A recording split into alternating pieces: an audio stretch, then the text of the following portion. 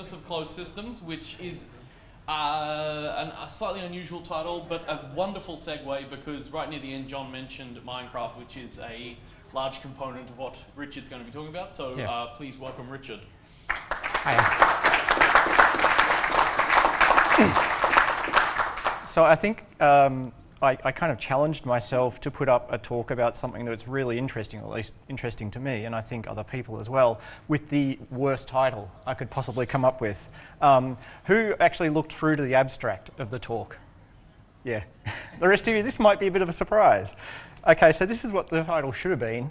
Um, so I'm uh, uh, an enthusiast of open source and an enthusiast of Minecraft. I really enjoy playing Minecraft. Um, it's closed source, um, but that hasn't stopped a bunch of us mucking around with it.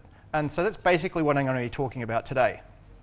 Uh, so to get some sort of, uh, to kind of set the setting here, you know those really fun adventure games, the, like the, particularly the text-based ones, where you end up in a maze and there's exits, and they're always north, south, east, and west. Uh, and if you do the correct combination of directions, you'll eventually make your way out with almost no hints about whether you're going the correct way. That's what programming Minecraft mods is like. There, there are very few signposted directions, uh, and you're often just stumbling around in the dark. But we, you know, we get there, and, and, and it's a bit of fun along the way. So, Minecraft and programming, I'll just briefly say there are actually two options we've got here. I'm going to talk a little bit about the first one and then more about the second one. So, the first option we have is the Raspberry Pi. Hello, you are not welcome. oh my god, worst software ever. Now, how do I get back to the. Is it down there? No, that's not it. Oh, I don't know where my window's gone. Let, let me know if I hit uh, the presentation. Is that it? Oh, no, that's a shell. No, that's a hangout. Oh, God. Oh, it's probably no. It's probably already open. Ah, command tab. Yeah. There we go. Hey. So, there goes a whole minute. Yay. Anyway, so the Raspberry Pi. There's actually a version of Minecraft for the Raspberry Pi, um, which you can download for free from pi.minecraft.net. It has a Python module built into it called MCPI, and you can use that to write Python, Python code which pokes at Minecraft to do some interesting things. As I say, it's free and it runs on the Raspberry Pi, so it's a very low barrier to entry. The downside is that Minecraft Pi Edition is a really limited version of the game. Uh, it has a very limited set of blocks that you can use. There are no entities, no, there's nothing else running around, there's no mobs, there's no challenge in terms of gameplay. It's purely a creative tool. And also, the programming experience is, as I, I think, a bit suboptimal because the, the game itself runs in this kind of pseudo window on the desktop and then you have to find some space to put an editor window next to it, and they run in separate processes. So you're jumping between the two, and you fire off your code, and then quickly jump back into Minecraft to see what's happening. And yeah, so it's not a great experience, but it is there, and it's, as I say, very low barrier to entry. And even with those limitations, it hasn't stopped a lot of people playing around with it. So you know, it's there, and it's good, and there's lots of resources to support it. So that's all good. But as I said, it's not the full Minecraft experience. Hello. So Minecraft itself is a like the, the basic game. Um, somebody's phone ringing. That's anyway. So uh, Minecraft itself, uh, beyond the, the Pi edition, has a bunch of extra stuff. Like there's the challenge of the game, there's the mobs, there's, there's everything else in there. Can I just get an idea of who's played Minecraft? Awesome, awesome. The rest of you, I hope this makes some sense. Um, and the nice thing about Minecraft is that you can enhance it through modifications. So this isn't what Minecraft looks like normally. This is a modified version of it with enhanced graphics. Um, some of the modifications can do things like add new mobs to the game. So this is a mod that just adds a bunch of new creatures. Um, you can change the gameplay by making it more difficult um, and providing tool, uh, new tools to the player uh, to play around with uh, in the game as well. Um, but look, we're all nerds here. I think we can comfortably say that. So what you really want to do is actually build like a server farm in Minecraft. so that's what a server farm in Minecraft looks like. Um, it's comprised of processing nodes and storage nodes and, and communication buses, and here's a little diagram for you.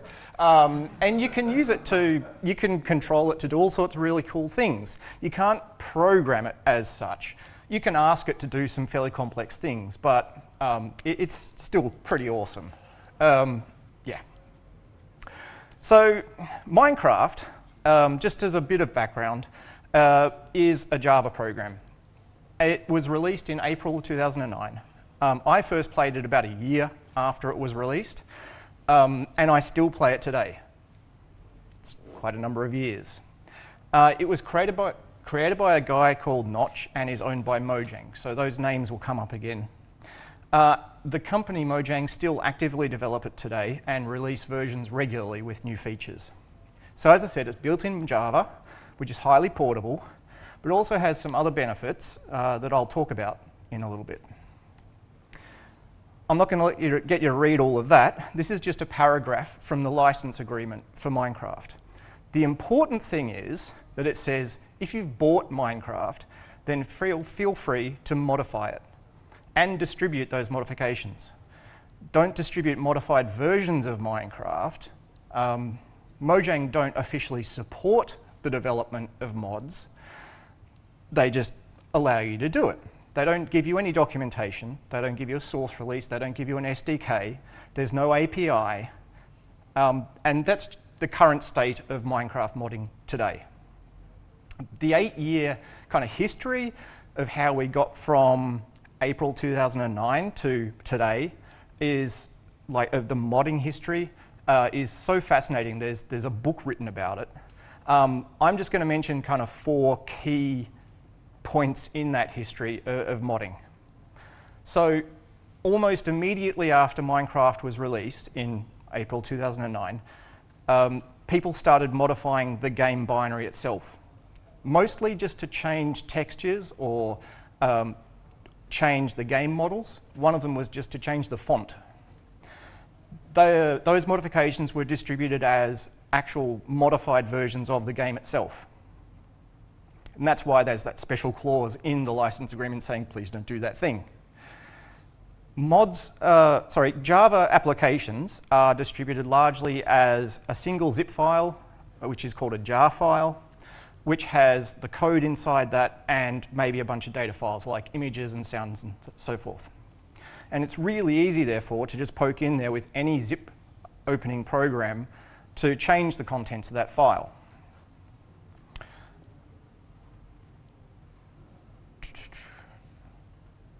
So as, in response to people modifying the Minecraft program itself to change, make these modifications, uh, the developer, Notch, um, started obfuscating the code that went into that zip file so nobody could read it. Obfuscation basically takes all of the meaningful names and words in the code and replaces them with non-human readable forms, nonsense. So that's kind of the starting point very soon after that, we started seeing custom servers appearing. These were both modified versions of Minecraft, but also from scratch versions of the server protocol written um, in, in you know, other languages. There was also uh, map and save game editors, um, and servers with custom functionality just became hugely popular because they allowed people to add new gameplay to the game without needing to modify the client. And so people could access that single server and play together and play these custom games together. In around mid 2010, there were several concerted efforts launched to de-obfuscate the Minecraft source code. Uh, the most successful of that was the Mod Coders Pack, um, the developer of that ended up actually working for Mojang, but the, the effort continued on. By the end of 2010, folks had written quite extensive modifications, distributed as files that needed to be manually merged into the Minecraft jar file. Uh, and that hooked into the Minecraft code to extend it in weird and wonderful and often very incompatible ways. Modded servers became much easier to create uh, and, uh, and again, very, very popular. One of the server was, servers was called Bukkit, um, and it was hugely popular, and, and though Bukkit servers still run today, even though the Bukkit project itself is in limbo due to licensing shenanigans that went on a couple of years ago. And then in late 2010, uh, a modder called Risugami released ModLoader. And the whole purpose of that was to provide a common mechanism for mods to get loaded into the Minecraft client in an orderly fashion rather than being manually edited into the zip file, the jar file. Around the end of 2011, Forge was released, Minecraft Forge, which brought together ModLoader and the Mod Coder Pack into one place. And that provided really the key tool uh, for making the development of Minecraft mods simpler, more straightforward, and more predictable. Uh, and that's the tool that pretty much every mod that's produced these days uses, will be built on top of the Forge framework. Um, the Minecraft modding community is huge. Uh, there's a bunch of modding tutorials out there. This is one of the few that's text-based. A lot of the mod tutorials are on YouTube, so they're videos, um, but these, this one's text-based. Um, this one is another one that's text-based. Sadly, a lot of these tutorials are tied to specific versions of Minecraft, um, and since the internals of Minecraft change kind of on a release by release basis, uh, often dramatically, they can be out of date very quickly. Uh, this is one of the better YouTube tutorial makers, uh, Mr. Crayfish um, he keeps his tutorials up to date. So within months of Minecraft 1.10 being released, he had updated his basic introduction to modding Minecraft tutorials to be compatible with uh, 1.10. Another really good release, uh, resource is the official Forge documentation. Um, but I learned an awful lot by just poking around inside the Minecraft source code um, which comes as part of that deobfuscation that the Minecraft Forge project does. Uh, and using a good Java IDE, you'd be kind of crazy to do Minecraft modding without a good Java IDE. You can do things like jump to definitions of methods and classes um, inside the, the Minecraft source code to see how they did a thing. And then it, maybe it'll make sense how you might try to do the thing. Another thing is that this is a, a snapshot of the uh, the yeah the Forge uh, web forum. Um, these are all open source pro, um, Minecraft mods. So you can go to any number of these, and there'll be a, there'll be a GitHub page behind there, and you can go and see how they do things as well. You can see that they they all list a, a version: uh, 1.7.10, uh, 1.10. 1.8. Those are the Minecraft versions that they are compatible with. So when you're going to do that exploration, you really have to be picky about which one you look at, depending on which version of Minecraft you're targeting. Ultimately, though, it's still Java, and so it still looks like this, a little bit incomprehensible. Um, setting it up isn't very difficult, but the complexity once you start going is, is high. Also, Minecraft, it's still that obfuscated or decompiled, deobfuscated, obfuscated code. So every now and then, when you're poking around inside the Java code, uh, the, the Minecraft code, you'll run into something like this, where the, the function names and the variable names have just been replaced with gibberish. And the people doing the deobfuscation effort haven't got around to you know, uh, rewriting that name. This one's a, an interesting example because I started modding Minecraft about six months ago and I ran into this. Uh, I just updated my version of Minecraft Forge uh, a few weeks ago and this function had been deobfuscated in, in that time and so it now says it's called add button. So what does Minecraft look like under the hood? Uh, you got that? um, this is, this is kind of the, a rough block level diagram. It's, it's very, very rough, very, very high level. Um, and I guess one of the biggest problems with modding Minecraft is that almost all of the documentation of its internals has been generated by modders. As I said, Mojang does not support modding. Uh, and as I mentioned, it's also often incomplete and out of date. For example, the storing of state for blocks and entities in the game, entities are things that can move around in the game, um, that, the way that state is stored for those things has changed several times over the lifespan, lifespan of, of Minecraft. Uh, there's been numerous, document, uh, numer numerous versions of just the way that entity state has been stored and transmitted between clients and servers, and nobody has good documentation on the current method. It just doesn't exist. And that was implemented, I think, in 1.9, so that's two releases ago. Uh, if you like Minecraft diagrams, here's one that gives the entity class hierarchy. Um, it's way too small to see. Uh, I like this one. This is um, a typical Minecraft day. Uh, and the reason I like this is because uh, if you overlay uh, a typical three-act structure that makes a good story, it maps almost perfectly to what happens in one day of Minecraft. And I think that's one of the reasons why it's got that really nice hook, as anybody who's played it knows. I like this one. This is a creeper trap. Um, creeper walks over the trapdoor, gets drowned by the water that's automatically brought in with the redstone wiring. Redstone's cool. This one's a compact monostable circuit. um, once you get seriously into building things into Minecraft and want to automate some things, you end up doing things like this to you know, activate various parts of your map. But anyway, so I, so I'm not a big fan of Java. I mean, I know how to do it, right? Uh, and, it's, and it can be enjoyable sometimes, but I'm a Python developer. I like Python.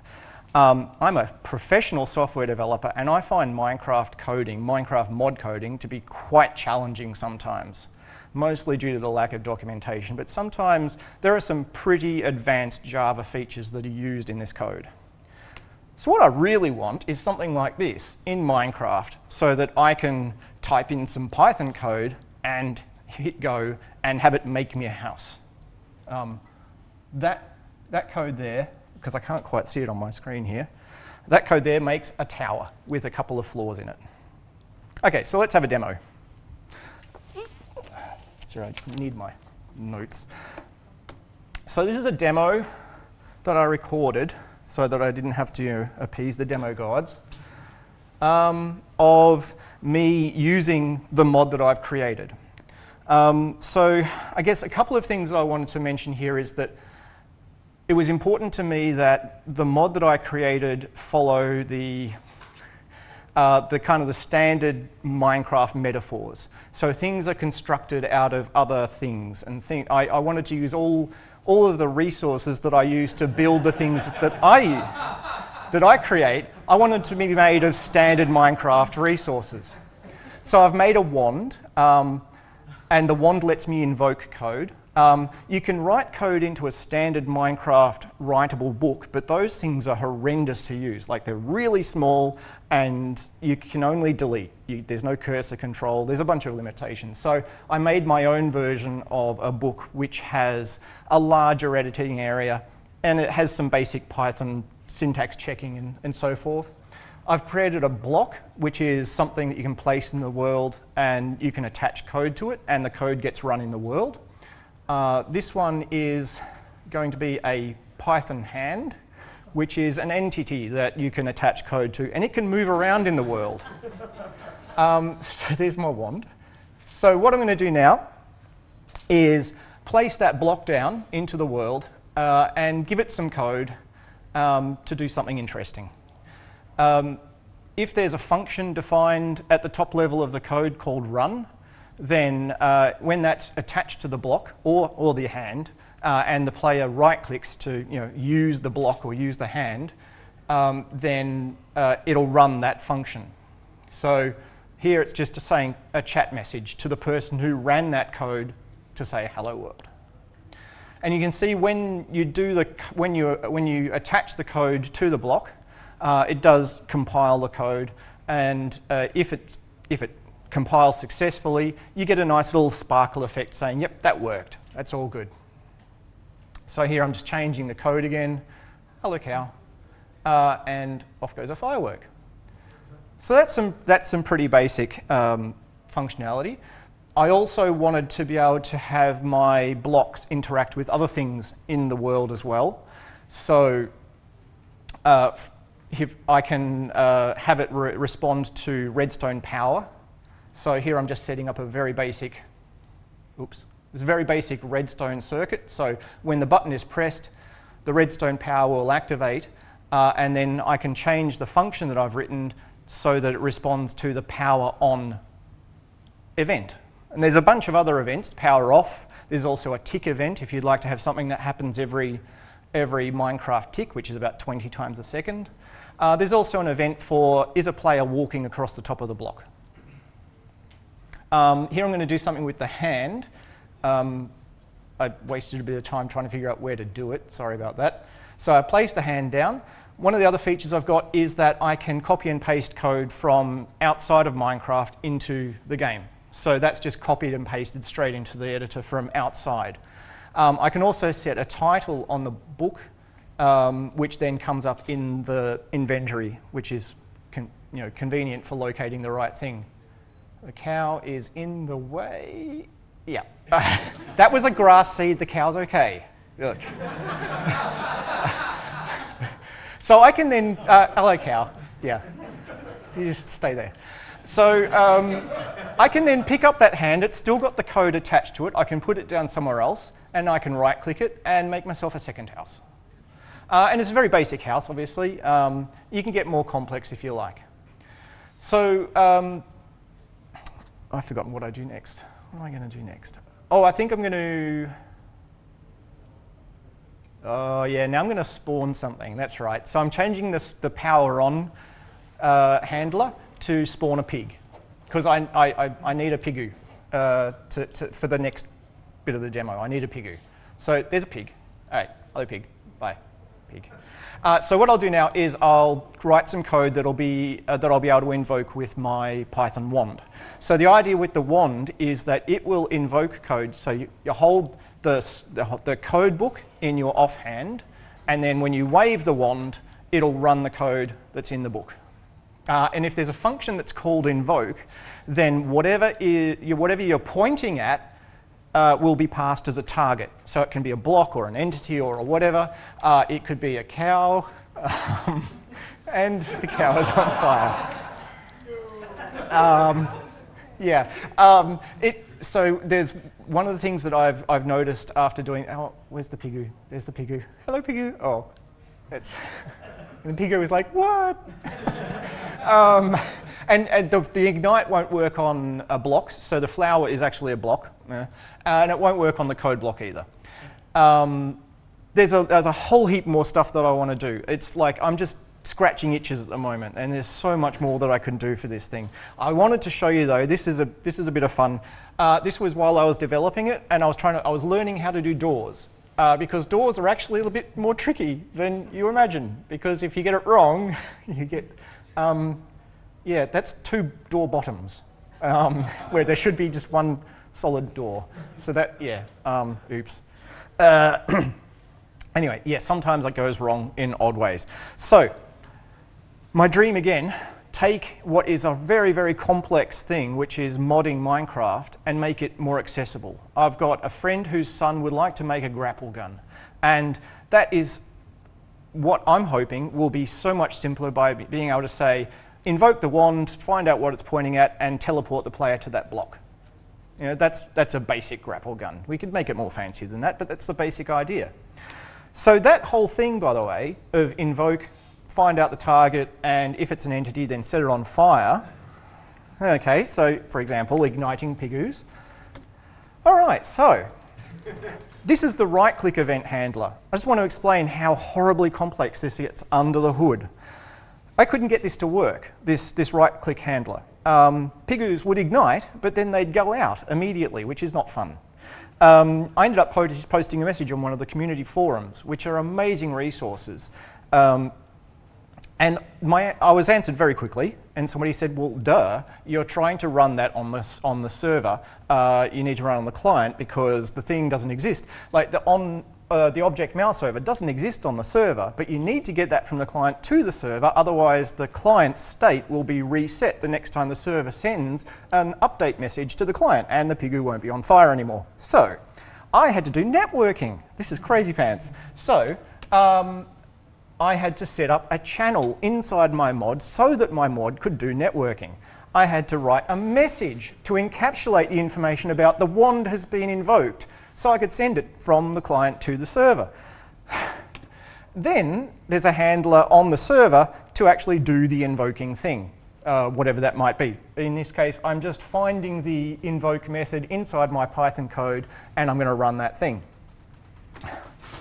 Or, you know, this is, this is the point of all of this. So I think this is, I enjoy doing this. So, um, and I'm hoping to add more, and it's good fun. It's also an open source project, like all of those other ones I showed you on the forum. There are, there's like three or four hundred that came up on a simple search. So there's a lot going on out there. If you like the idea of this, I would welcome you to uh, come along and help me out because I find it fun and you might find it fun too. So that's where you can find the project and there's information there about how to get it going in development and just as a player. Uh, and there's a lot of documentation there about how it all works and the sort of things you can do in the mod as well. Um, thank you very much. I think I've gone over time.